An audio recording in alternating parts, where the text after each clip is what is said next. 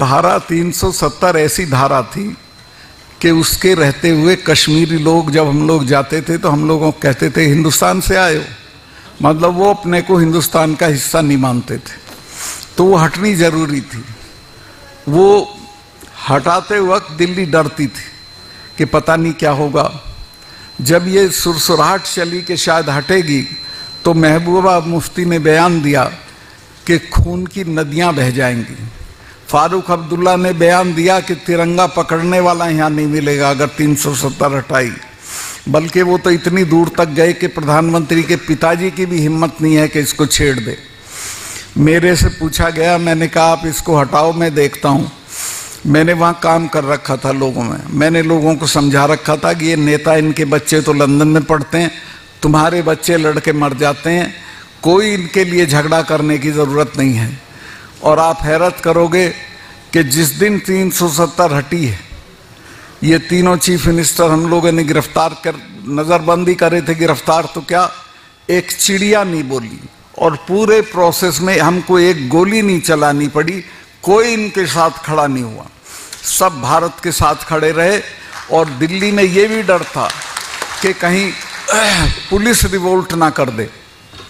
मैं कश्मीर की पुलिस के लिए बहुत काम किया था और मैं उनकी तारीफ़ करूँगा कि ईद का मौका था। एक सिपाही ने भी छुट्टी नहीं मांगी उस दौरान में। सबने पुलिस लाइन में ईद मनाई। तो कोई बगावत दिल्ली के खिलाफ नहीं हुई और ठीक ठाक होके 370 हट गई। अब मैं जब गोवा में था तो मेरा इंटरव्यू करने एक सुदर्शन टीवी वाला आ गया।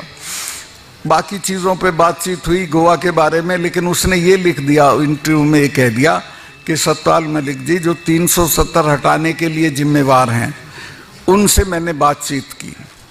अगले ही दिन मुझे प्रधानमंत्री ने खुद फ़ोन उठा के करा, अरे भाई, फिर बोल दिया आप कश्मीर के बारे में। मैं कहा, साहब, मैं तो नहीं बोला। कहने, नहीं, उसने ऐसे ऐसे बोला। मैं कहा, बोल दिया होगा, पर मैंने नहीं कहा, ये कि मैंने हटाई। मैं तो यही कहूँगा, आपने हटाई कि आज के बाद अगर कश्मीर पे कुछ बोलोगे तो मेरी तुम्हारी मुलाकात नहीं होगी। ये शब्द थे प्रधानमंत्री के। मैंने कहा, मैं कौन मारा जा रहा हूँ साहब मुलाकात के लिए? लेकिन मैंने बोला नहीं। खैर, वो बात आई गई, हो गई, उनको एक रंजिश हो गई। वहाँ गोवा में बहुत करप्शन था। मैंने शिकायत की कि साहब, ये चीफ मिनिस्टर की बीवी अलग पैसे मांगती है, चीफ मिनिस्टर अलग माँगता है, लोग तंग है, त्राही मची हुई है। तो उसे हटाने के बजाय मुझे ही हटा के मेघालय भेज दिया। मैं तो मैं ये भी नहीं मानता हूँ कि भ्रष्टाचार के खिलाफ हैं। और अब जो ताज़ा है, जो आखिरी बात कह रहा हूँ, मैंने वहाँ का ये बताया था कि दो मामलों में डेढ़ डेढ़ सौ करोड़ रुपए की रिश्वत थी, जो मैंने दोनों मामले कैंसिल कर दिए थे। उसमें मैंने नाम बताए, लेकिन सीबीआई इंक्वायरी करा के उनकी जाँच नहीं हो रही है, उनसे पूछताछ नहीं हो रही है। मेरे से दो बार पूछताछ हो चुकी है और मेरे स्टाफ के सारे लोगों के फ़ोन लेके चले गए। दो दिन उनसे पूछताछ की जम्मू में। मतलब कुल मिला के, दुनिया में आपने सुना है कि जो शिकायत करता है उसकी जाँच होगी, या जिसकी शिकायत हो रही है उसकी जाँच होगी। और तलाश में ये थे कि मेरे यहाँ कुछ मिल जाए तो मुझे बंद कर दें। लेकिन मैं, ये जो जाट चेतना है, इसकी ताकत पे ज़िंदा हूँ। उनको ये पता है कि जिस दिन इसको हम गलत तरीके से हाँ मेरे में कोई कमी हो, मुझे उठा के बंद कर दें। लेकिन मैंने ज़िंदगी में कोई ऐसा काम नहीं किया कि मुझे आप बंद करें। और अगर इन्होंने छेड़ा तो चार स्टेट में है हम।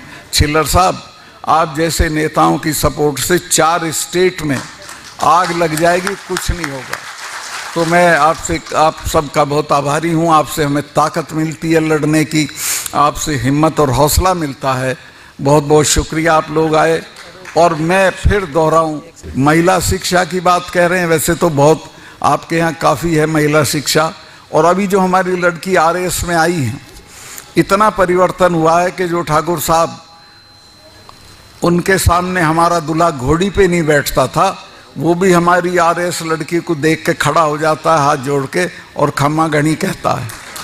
तो महिला शिक्षा को बढ़ाइए, चूँकि महिला का सशक्तिकरण ना दहेज से है ना उसके हस्बैंड की दौलत से है, ना उसके पिताजी की दौलत से है, उसकी एजुकेशन से है, और वो उसको आगे बढ़ाएगा।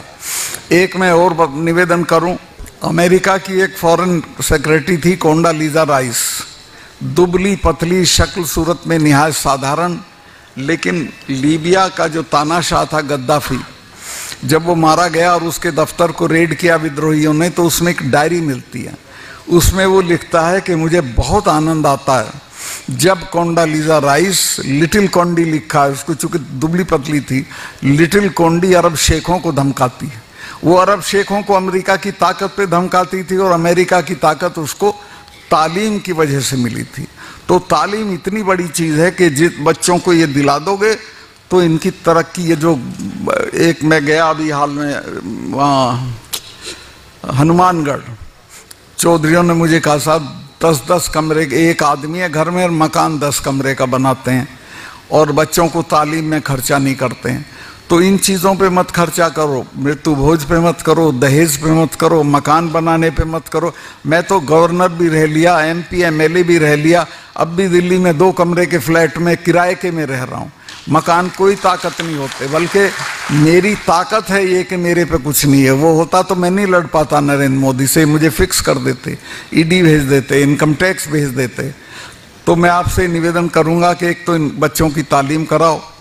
और, ये हमारा दुर्भाग्य है कि राजस्थान में हमारा इतना नंबर है, इतनी वोट हैं, इतने हमारे एमएलए चुन के आते हैं। लेकिन आज तक आपका आदमी सीएम नहीं बना। क्यों नहीं बना?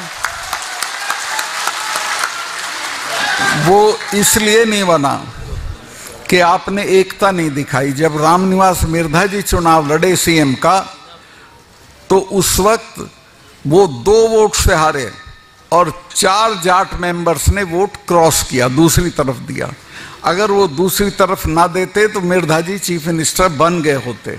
तो एकता होगी तो बनोगे। और मैं आपको आश्वस्त करता हूँ कि इस बार हम ये संघर्ष करेंगे। कि आपका चीफ मिनिस्टर बने। और ये कोई मांग हमारी नाजायज नहीं है, हमारी जायज़ मांग है। ये तो जो सतहत्तर में जो सरकार बनी थी, चरण सिंह जी उस वक्त चाहते थे कि कुंभाराम आर्य जी को चीफ मिनिस्टर बना दें। लेकिन उसमें हमारे बड़े थे देवीलाल जी, वो कुछ तिकड़म कर गए अपने लिए, अपने पोते को एमएलए बनवाने के लिए। उन्होंने भैरव सिंह जी से समझौता कर लिया। वरना उसी बार बन गया होता।